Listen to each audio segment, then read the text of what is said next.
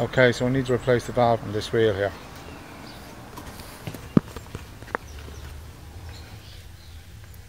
You can see there, right? If you look, you might be able to see it. It's busted in there, right? It's holding a small bit of air, but um, it's split. They do split and deteriorate, you know. I'm just gonna take it off, break the tire off on this side, and put a new valve in.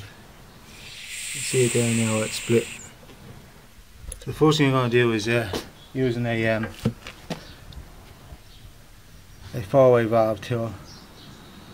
I'm gonna uh, extract the valve.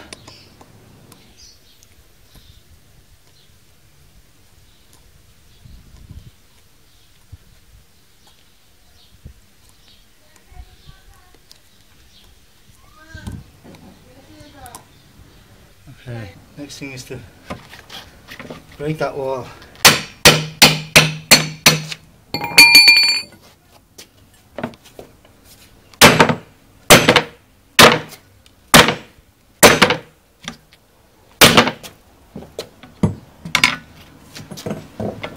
You go.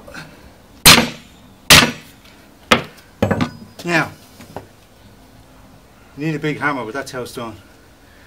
Just force it in there beside the valve. Go right in, push it down.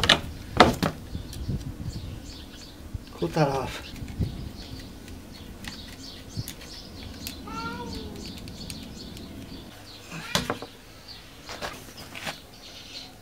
Now, here's the new one, right? It's a 414 uh, TR and uh, I think it's made for about an 11 millimeter hole in the um, rim and it's an inch and a half sticks out on the outside of it. Small drop of washing up liquid on to get it sit.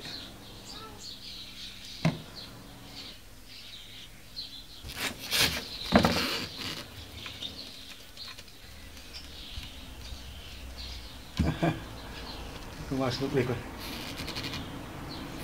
There you are. There's your valve key on it, the outside of the valve. Stamp, do it home. Yeah.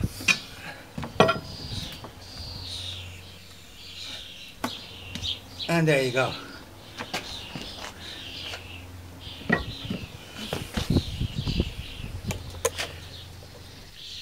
You there now it's in.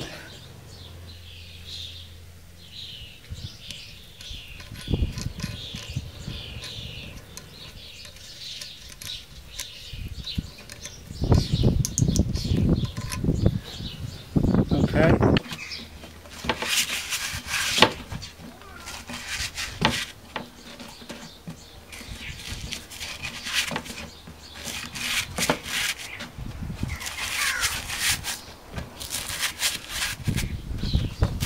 Now.